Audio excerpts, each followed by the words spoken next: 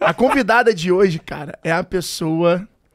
Ela é conhecida nos bastidores como rainha do e-commerce. Opa, já gostei. Ela, além de vender muito na internet, ela ensina também milhares de pessoas a vender na internet.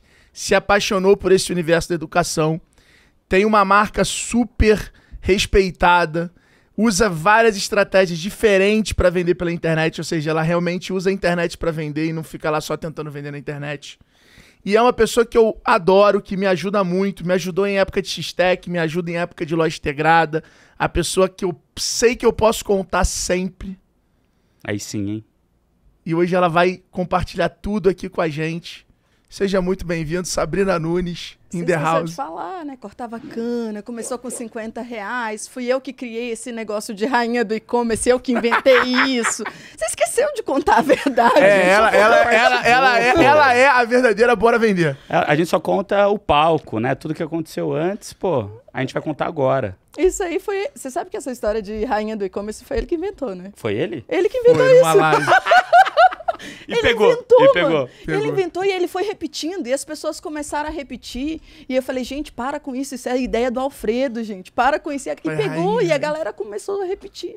Estamos aqui então com a Sabrina Nunes. Sá, conta um pouquinho pra galera é, um pouquinho da sua história, um pouquinho como é que tá os seus negócios hoje, só pra galera conhecer ainda mais e te conhecer também, quem não te conhece aí.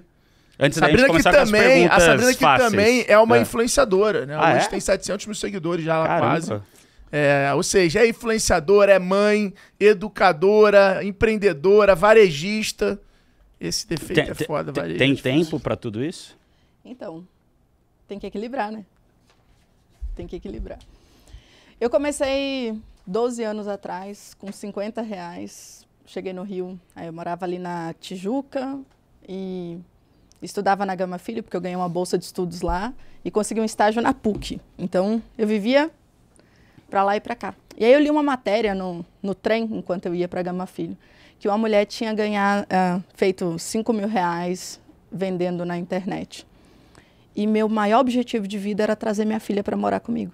E eu acreditava que com 5 mil reais eu conseguiria fazer isso. Onde ela morava? Em Minas. é, Você, é- você é de Minas. Sim, eu passei por algumas situações difíceis e, e eu fui para o Mato Grosso do Sul, lá eu cheguei a cortar cana, então foi uma situação Conta um bem... pouquinho antes da- Conta. do, do começo. Conta esse extremo aí. Conta, con- conta esse extremo. É, eu sou de Minas, de uma cidade chamada Itinga, interior de Minas, no Vale de Jequitinhonha. Lá, onde eu nasci, as coisas eram, são bem difíceis até hoje, mas era muito mais há 12, 15 anos atrás. Pra você ter ideia, meu padrasto ele levava as pessoas do interior para cortar cana no Mato Grosso do Sul. Então eu saí de um relacionamento difícil, eu fui mãe muito jovem, fui mãe com 19 anos. Hoje para mim é tranquilo falar sobre isso, então eu saí de um relacionamento abusivo. E aí eu não tinha opção. Eu fui para o Mato Grosso do Sul levando a minha filha. E aí cheguei lá, eu não consegui trabalho, eu cheguei a cortar cana. Aí voltei com ela, deixei na casa da minha ex-sogra e, e fui para o Rio de Janeiro porque eu ganhei a bolsa de estudos e fui estudar lá. E lá eu fui morar, eu morei com a minha irmã, a gente morava num quartinho assim. E eu lembro que a gente pagava 350 reais no quartinho. E eu ganhava 50 reais de desconto porque eu lavava os banheiros do dono da casa, sabe? E para puxar a segunda cama, assim, você tinha que fechar a porta do quartinho, porque não cabia as duas camas. Sabe aquelas camas que puxar embaixo, assim? Bem, é isso. E foi por isso que eu fui para o Rio de Janeiro, porque eu ganhei uma bolsa de estudos para poder estudar engenharia. E eu li essa bendita dessa matéria. Eu sempre gostei muito de ler, sabe? Eu também não tinha celular, então tinha que ler. Ia fazer o quê dentro do trem? Eu li essa matéria, e aí eu peguei 50 reais, fui lá na Uruguaiana, comprei as bijuterias e coloquei no Elo 7 para vender. E aí o Elo 7 mandou um e-mail. Olha, se você quiser, a gente manda um e-mail para nossa base de clientes e tal, é 400 reais. Só que 400 reais era mais que o meu aluguel. Só que eu sou uma pessoa ousada. E aí eu topei mandar o e-mail. Eu não entendia nada de estoque, de venda. E naquele e-mail eu vendi 5 mil reais, cara. E quando eu vendi aquilo, eu falei, mano, é isso que eu vou fazer da minha vida. Eu vou vender na internet. A faculdade era de quê? Engenharia de produção. Ah, só engenheiro hoje aqui, hein? Sensacional. E aí eu descobri todo o universo de e-commerce, de vender pela internet. Eu gosto de vender. Como foi esse dia pra você na hora que ven- vendeu num dia 5 mil? Foi Pra durante quem você ligou quando vendeu 5 mil? Quem foi Pra o primeiro? ninguém, quem ia acreditar? E Você como- tem noção de onde eu vi? mas, mas, sim, mas como é que foi essa sensação pra você? Você falou, cara, impossível, é um milagre isso? Como que isso acontece? Não, primeiro que foi muito louco, porque eu comecei a aumentar o estoque sem ter os produtos. Pra aguentar as vendas. Pra aguentar as vendas. É o famoso PDCA, né? Promete, depois corre atrás. Exatamente. Eu comecei a aumentar o estoque. E, e Você aí via vendendo e você, cara, não, que- Eu não posso. vai chegar mais gente, deixa eu. Eu preciso aumentar. E aí foi onde eu aprendi que quantidade é melhor que variedade. E bem, bem nessa época, era um, um brinco de pérola e foi esse brinco que, que eu vendi. Só que, da mesma maneira que o Elo 7 foi tão importante para eu entender as oportunidades da internet, ele também foi muito importante para me ensinar que eu não poderia depender de um marketplace. Porque na semana seguinte eu falei: Oi, Elo 7, gostaria de enviar outro e-mail. Aí ele disse: Não. Por quê? porque ele não tinha espaço na programação daquela semana. E aí eu entendi que eu deveria criar o meu canal e que eu precisava criar um site. Que eu precisava ter o meu espaço na internet. Não dava para ficar dependendo dos outros. E ali era o quê? Na morte do Orkut, nascimento do Facebook, onde explosões de posts orgânicos dava é, 20 um mil, milhão de, 30 de, de likes, é compartilhamentos, e, e era coisa de doido aquilo. Na hora que a gente estava descobrindo é, é, tráfego pago no Facebook. Quem aprendeu naquela época aprendeu. Conseguiu Agora é tudo mato frente. e tem cobra, mina, Oh. arma. Mato nada, agora é graminha, assim, ó. Mas tem muita oportunidade ainda. Tem muita porque, oportunidade. Porque ninguém faz, né? Direito. Tem muita oportunidade. E Não, até tem gente que faz direito, mas tem oportunidade, porque mesmo onde gente faz direito, dá pra se fazer diferente. É, cara, tem 215 milhões de habitantes no Brasil, um- uma força de compra gigantesca. Muitas coisas que ainda não foram pra internet, né? É, então. Então, tem a- gente a- que faz ainda- direito, mas Isso. sempre existe fazer diferente. Exato. Olha o corte Mas- aí, galera. mas- E venda é venda, não importa de onde ela vem. Eu acho Exato. que vender na internet é só mais um canal de venda, continua sendo venda igual. E daí, você falou que daí você aprendeu então que você não podia depender do Elo 7, você foi fazer seu site. Como é que Sim. foi isso? Foi uma merda. Não, Por mas, quê? mas pra quem. Mas pra quem. Porque não, eu mas calma, contratei calma. uma empresa Porra. bosta. o cara sumiu. Na época não tinha, né? Não tipo, tinha, VTEX, não loja tinha, integrado. Não tinha X-Tech, nada disso É, não tinha. tinha. Não tinha. Ela é lojista Vetex. Deixa eu te falar. Mas pra que. Cara, você ficou muito feliz. Pra quem você ligou? Eu não podia contar pra ninguém. Primeiro, eu não tinha contado pra minha mãe que eu tinha saído do trabalho. Na época, eu trabalhava numa empresa na PUC. Eu não podia contar para as pessoas que eu ia sair da empresa e depois eu saí da faculdade. Eu não podia contar que eu tinha saído da faculdade. Ah, tu largou a faculdade, então. Larguei em seguida. Eu não podia contar. E como é que foi? Eu já tinha dado errado. Imagina. Eu já tinha feito todas as merdas possíveis. Tinha dado errado. SPC, Serasa, Cortocana, relacionamento abusivo, se ferrou, Filho. mãe, 22 anos, filha com a ex-sogra. Imagina se essa pessoa pode contar alguma coisa pra alguém, mano. E como é que foi esse momento pra você estar nessa feliz ao mesmo tempo não poder compartilhar com ninguém isso? Como que era a tua cabeça na época? Talvez nem eu sabia que aquilo era um momento feliz. Talvez nem eu sabia a grandiosidade daquilo, sabe? Sabe quando você entra no piloto automático? Hoje eu tomo, tomei consciência. Eu tenho vivido um grande momento de transformação pessoal, de entender tudo que eu fiz, que é muito grande tudo que eu construí, né? Hoje eu tenho mais de 10 mil alunos. E é muito lindo ver a transformação dos meus alunos, é muito lindo ver pessoas que mudaram de vida por conta da minha história, pessoas que decidiram empreender por conta da minha história. Mesmo que não aprenda comigo, só de ter me ouvido, abrir os olhos para poder fazer alguma coisa que ela ama. Isso para mim é muito importante, isso é muito lindo. Isso é maravilhoso. Mas hoje eu tenho um pouco mais de noção e dimensão disso, mas naquela época eu só tinha um objetivo: trazer minha filha para morar comigo. Então as outras coisas, elas não importavam. E o nome, Francisca Joia, veio de onde? Era o nome da minha avó. Era o nome da minha avó. Eu queria um nome forte, bonito, diferente. Francisca, o nome dela. Eu E- gosto de coisas que contam história, E sabe? foi desde assim. o início? Foi desde o início. Tipo, nasceu já a ideia ali. Tipo, Não, não. Eu, eu ia chamar é, Dolls. Aí um amigo meu falou assim: Dolls, Dolls, Dolls. É, tipo. Não faz sentido. Isso é tipo biscate. é horrível esse nome. Aí eu falei com ele, ah, então vou pensar em outro nome.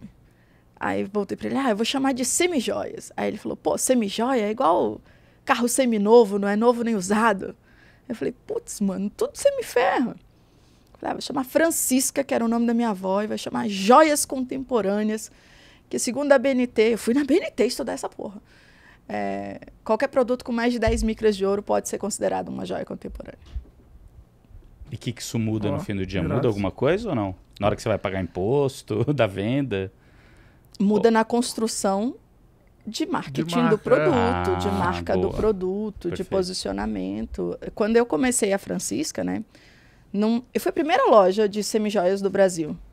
É a maior hoje. E naquela época ninguém falava joia contemporânea. Hoje a Francisca é só Francisca, porque acredito que a gente pode ter outros produtos dentro e tudo.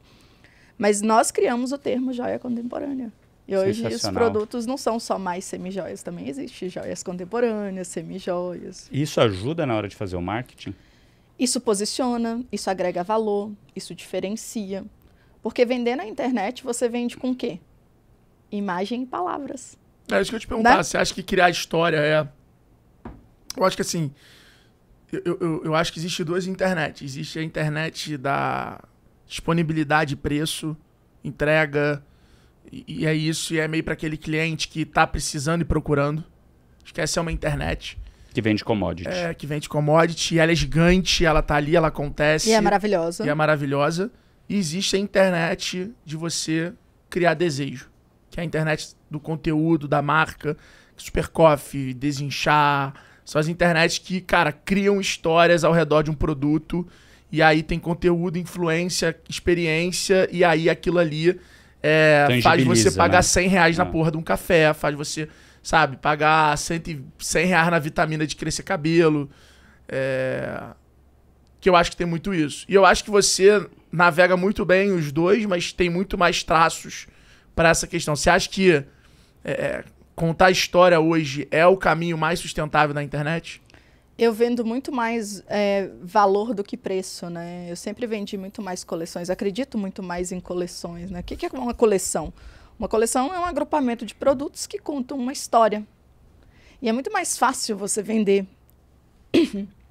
Desculpa, corta, né? É muito mais fácil você vender uma coleção que vender um produto sozinho. Principalmente quando a gente fala de moda, de tendência, de produtos que são para mulheres, quando esses produtos eles vêm agrupados, seja eles por cor, por ideia, por tendência. Ah, mas como é que eu faço uma coleção de maquiagem? Cores. Cor- ah, coleção flores. E aí você pega tonalidades de flores. Ah, coleção primavera e traz tonalidades de flores. Ah, como é que eu faço uma coleção de roupa? Ah, você pode ter uma coleção chamada Pretinho Básico. E aí você traz várias tonalidades de preto. E sabe o que é mais interessante? Porque com uma coleção você pode pegar produtos que são antigos e estão parados E e, traz uma nova vida para esse produto. Porque a arte de vender é você dar nova vida para esse produto, fazer com que o nosso produto seja interessante e assim o nosso cliente compra. Acho que o cliente não compra o produto porque ele não viu valor naquele produto, né? Ele não Perfeito. enxergou ainda que o produto vale mais que o dinheiro dele. Porque é assim que acontece a, a venda, né? A gente vende quando o dinheiro do nosso cliente vale menos. E, e o ato de fazer coleção é isso: é contar história, é gerar desejo. E aí isso eu faço através de embalagem, através de vídeo, de foto, de texto. Você me contou uma vez a tua sacada para contratar as influenciadoras. E, cara, a sacada foi muito boa. É, eu acho que hoje isso é um tema que você super domina, acho que você se transformou em uma ao longo do tempo, né? É, é sócia hoje de influenciadoras em negócios, ligada ao digital, ajudando as pessoas. É, mas, não sei se você vai se lembrar, a gente lá na- no, no teu evento que, a- que acontece aqui em São Paulo, por sinal, cara, fica aí a dica, super legal, galera. A gente vai fazer de novo para 1.500 pessoas. É muito bacana mesmo, assim. É, você me contou que você escolhia as influenciadoras que fazem maquiagem porque elas mostram mais a mão e pe- o pescoço e, e- e- e- e a orelha e tal. É, queria que você contasse um pouco sobre isso, que eu acho que é, uma- é um assunto que a galera hoje aqui tem, que assiste a gente, tem bastante dúvida.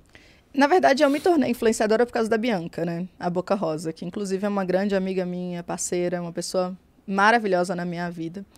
E uma vez a gente falando de negócio, ela falou: Cara, você precisa falar mais. E eu não falava, eu não fazia vídeo, eu não tinha coragem de me expor. E aí a Bianca me, me potencializou, ela me mostrou a oportunidade. E naquela época também estava surgindo né, a profissão de influenciadores digitais no Brasil. Eu comecei a Isso fazer. foi quando? Ah, não 2000 lembro quando? exatamente a data Foi disso aí. 18. De- É, talvez 20 já. Aí ah, eu comecei a fazer vários trabalhos. Na verdade, eu comecei a buscar como é que eu posso encontrar influenciadores que conecte com a minha marca. E aí eu pensei, putz, ela tem que estar com a mão em evidência, porque eu vendo anéis. O rosto tem que estar em evidência, porque eu vendo brincos, né? Aqui o colo, porque eu vendo colares. Falei, putz, ninguém melhor que a galera da maquiagem. E, e é óbvio, né? Eu vendo acessórios e você poderia pensar, putz, por que não a galera de moda?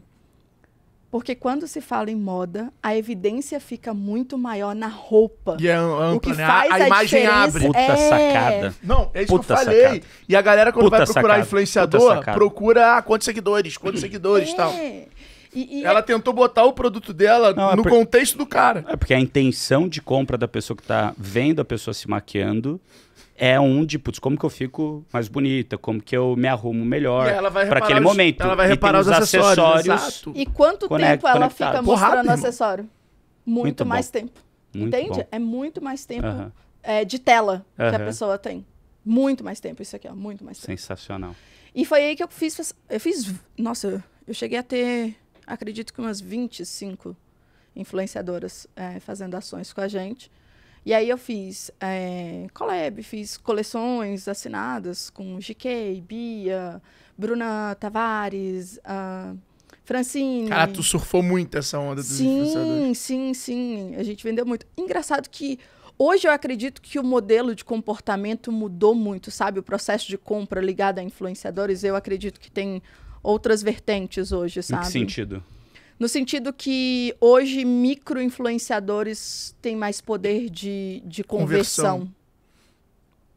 Que os macros. Os macros eh, potencializam mais branding do que. E que os Converter micros vêm mais para conversão. É, e eu acho que são poucos nomes no Brasil.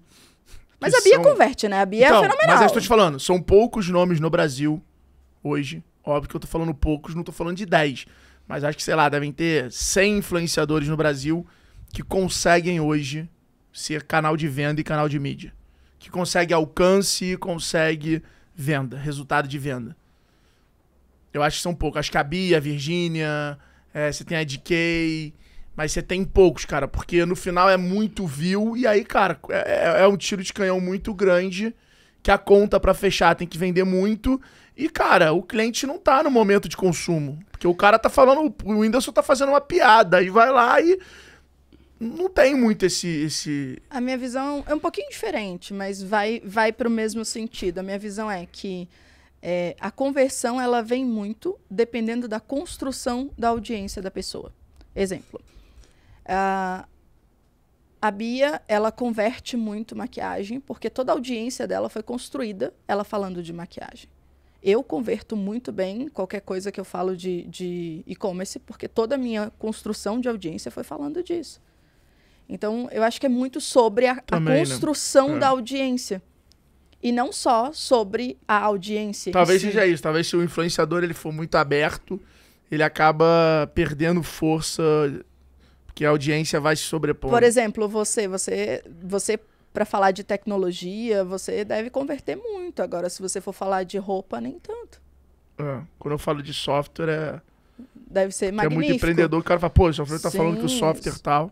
Então tá que meu tem um valor é diferente. Se eu fizer uma campanha de moda para a Miss, é dif- a reserva é diferente de eu fazer um contrato de virar parceiro, embaixador de um software. Sim, porque você é muito mais referência em tecnologia do que moda. Não, mas essa sacada da, da, da, da maquiadora eu acho, eu acho irado, porque eu acho que. Acho que são duas coisas quando a gente fala de influência em negócio, né? E eu acho que você é um puta case hoje nisso, porque você transformou influência em negócio e agora tá criando um negócio a partir da influência. É, Eu acho que primeiro tá nesse recrutamento. As pessoas, elas não têm essa rotina de recrutar, de olhar, de garimpar. Então, cara, não é ah, fulano de tal, cara, é garimpo. Por quê? Porque o fulano de tal ele pode ser perfeito. Ele vai estar tá viável, ele vai ter agenda. Como é que ele trabalha? Quantos influenciadores hoje não é uma merda contratar porque o cara é ruim de trabalho? Conexão da marca com o influenciador, é. sabe? A filosofia da marca com a filosofia de vida do influenciador. Exato. Porque eu acho que cada vez mais as pessoas estão buscando verdade na internet. Não é à toa que o TikTok está vindo com toda a força. Eu sou, eu amo o TikTok. Eu tenho feito muita coisa no TikTok, inclusive. Sabe? Eu acho que essa parte da, da de capturar o, o, o, influenciador. E aí o segundo é, cara, trazer contexto para ele na tua estratégia. Eu acho que é muito assim, ah, faz um post aí, vê o resultado, pô, toma aqui teu cupom. E aí eu acho que muitas vezes acaba não criando um contexto para aquilo ali acontecer. Você olhando para tua estratégia falando, cara, talvez faça sentido eu contratar esse influenciador para remarketing. Eu não vou usar ele para poder adquirir audiência, porque ele não vai impactar, mas se eu pegar a audiência que eu já tenho e jogar a imagem dele, porra, ele vai conseguir criar mais interesse, chamar atenção. Então acho que falta assim, hoje eu acho que é, é, é, é é um assunto muito amplo. E as empresas que estão virando plataforma de influência, né? Que é uma Desinchar, Supercoff, Bold. Cara, todas essas estão conseguindo voar de forma exponencial. Mas aí quando você vai ver, tem 10 pessoas no time, 15 pessoas no time. Então não é uma coisinha do ah, contratei um influenciador. Ah, não, não, não é.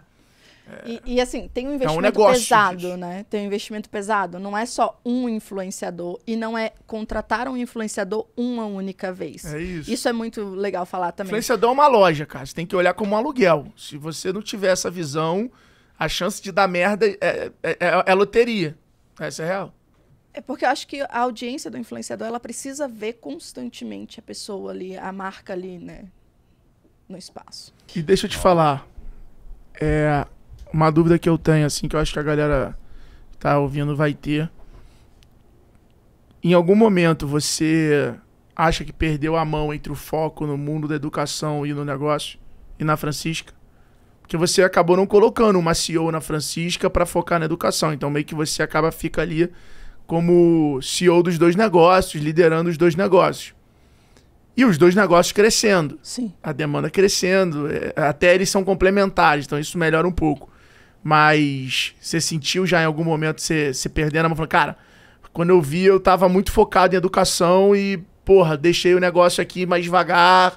É... E quando eu vi, eu não dormia mais, não comia mais. Quando eu, o Jesus é doutor em engenharia mecânica. Quando eu vi, eu falei com ele, mano, é o seguinte, tu sai dessa porra dessa PUC e vem trabalhar comigo. Foi assim, foi, foi indo assim, entendeu? Quando eu vi, a gente assustou. Eu falei, porra, tem mais de 60 colaboradores. Ela pode contar, ela pediu pra Deus, Jesus veio. ah, tava demorando. Ela pode. Tava ela demorando. Ela não pode falar que, pô, já pediu pra Deus e não veio. E aí ele veio e aí veio te ajudando aí exatamente nesse papel da gestão do negócio ali. Mas você acha que ter dois negócios, te, às vezes te... Você acha que eu tenho só dois? Opa! Olha só. Não, eu sei, eu sei, eu sei que tem Conta mais. Conta mais dos outros aí. Falando, de, de, tipo, né, os dois que eu acho que você tá mais... É, mais na execução ali como CEO do negócio. Ah, claro que você... É, é como equilibrar tudo, né? É como ser mãe de família, é como ser mãe e fazer e empreender. Eu acho que, que é desafiador. E que você acaba deixando... É óbvio que se eu não tivesse a educação, talvez a Francisca seria maior. Pode ser que sim. Talvez se eu não tivesse a Francisca, a educação poderia ser O que, que te move maior. mais hoje? O varejo ou a educação?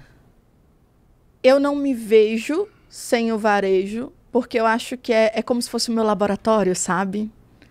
E mas é lindo a transformação que eu causo na vida das pessoas. É, é, é louco como eu vim pelo dinheiro. Desde lá atrás, o meu sonho é de trazer minha filha. Eu precisava de dinheiro para trazer minha filha. Mas hoje não é o dinheiro mais, sabe? Hoje é uma simples mensagem que uma pessoa fala: olha, eu saí da depressão porque eu vi um vídeo seu falando, cara, acorda, vai lá, vende. Olha, usa esse script aqui. Então é Porrada. muito mais. Porrada. Pô, irado. Qual foi o dia mais feliz da tua vida? Toma essa agora também. Gente, ele é muito mala, né? Como é que pode? Tem umas quatro difíceis aqui vindo, hein, querida? O tempo tá nublado. Não acabou pra... ainda, não? O tempo tá nublado pra você. Qual foi o dia O dia mais feliz? Pode ser dois? Nascimento dos meus Pode. filhos? Não, tirando o nascimento do filho, que tá ficando muito padrão. Tô muito comum essa Quem deixou vocês participar do podcast? tá. Ahn, um dia muito feliz. Um dia muito feliz. Quando eu tive um milhão na conta e vi que não era sobre um milhão. Eu achava, mano, quando eu tivesse um... Minha mãe falava assim, vou ganhar na Mega Sena. Quando eu ganhar na Mega Sena, minha vida vai mudar. Vou sair dessa desgraça dessa vida. Era bem assim, sabe? Que, é, sabe que pobre grita, né? E grita muito, não é pouco não. Lá em casa minha mãe gritava muito pra caralho. Minha mãe falava muito palavrão, ainda gritava. Eu vou ganhar na Mega Sena que eu vou sair dessa vida. Não, não, não, vou ganhar um milhão na Mega Sena. Aí eu tinha um milhão, mano. Eu botei um milhão na conta e... e era só um milhão. Então esse foi o dia. E, co- Sabrina, como que foi quando você viu? Você falou, pô, não é tudo isso, mas o que, que você sentiu nessa hora? O que, que foi a realização que você teve ou naquele momento ou logo realização depois? nenhuma. Eu falei assim, ó, guri idiota, não é sobre dinheiro. Nunca foi sobre dinheiro, guri idiota. Você achou que era sobre isso. Põe, otária. Foi aí? isso, sabe? Foi aí que caiu a ficha. Que, foi aí que eu entendi que nunca foi sobre dinheiro. Que eu achava que era sobre dinheiro. Foi aí que eu entendi que não são números, são pessoas. E é o seguinte, durante essa, essa jornada, passando por vários alunos, qual foi a opinião que você teve que você mudou? Assim, extremo. Uma coisa que você acreditava e você mudou completamente. Além de não é só sobre dinheiro. Além de não ser só sobre dinheiro.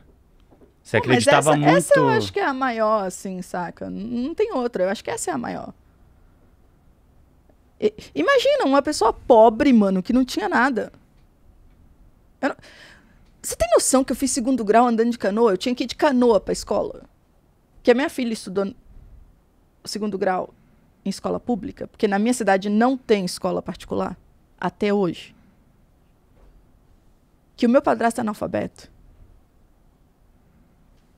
Meu pai morreu, eu tinha cinco anos. Então, assim, eu venho de uma, de uma realidade muito diferente, mano. Tipo assim, eu tinha tudo pra dar merda. tinha tudo pra dar errado, cara. Tudo pra dar errado. Mas, ó, um outro dia muito feliz que eu posso te contar. O dia que eu construí uma casa pra minha mãe. O sonho da minha mãe era ter uma casa na roça. Aí eu construí uma casa pra ela. Casona, com piscina, do jeito que ela sempre sonhou. Quatro suítes, aquelas casonas de roça, bonitona mesmo. Tá lá. Então, acho que hoje tem uma coisa que eu falo muito, que é assim, ser feliz com a felicidade do outro, sabe? Aí não vira mais dinheiro.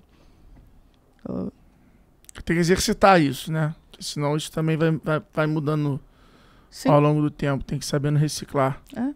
Última pergunta. Essa é polêmica, essa é pesada. Não vai reclamar, hein?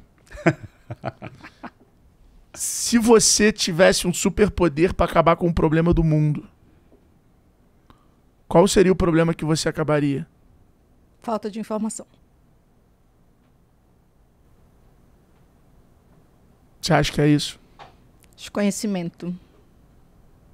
Eu acho que conhecimento é a base de tudo. Eu acho que com conhecimento as pessoas têm a capacidade de buscar e decidir o que elas querem para a vida delas. Decidir se ela quer continuar onde ela tá, se ela quer fazer coisas diferentes, se ela quer experimentar coisas diferentes. Se ela quer experimentar o conhecimento de ir numa cadeira de executiva te faz querer decidir se você quer continuar indo de executiva ou se você quer voltar para uma cadeira comum ou se você quer ter o seu próprio jatinho. Bom, galera, Sabrina, tem mais alguma, alguma mensagem final pra galera? Cara, é ir atrás dos sonhos e eu falo muito que só tem resultado quem faz. A internet, ela, ela é a rua mais movimentada do mundo. Aqui na internet tem oportunidade para todas as pessoas, independente do que você faz, onde você mora. Se você tiver muita força de vontade e tem muito conhecimento aqui. Então, bora pra cima, bora vender. Qual é o seu Instagram pra galera te seguir? Arroba Sabrina Nunes FJ. Boa. Qual o seu, Bruno Nardon? Bruno.nardon. Bom, o meu é Alfredo Soares. Espero que vocês tenham curtido. Deixa aí os comentários no podcast. Não esquece de falar quem vocês querem que a gente convide pra gente bater papo. E bora vender. A gente se vê no próximo episódio dos Extremos. Valeu! Valeu, galera. Tchau, tchau.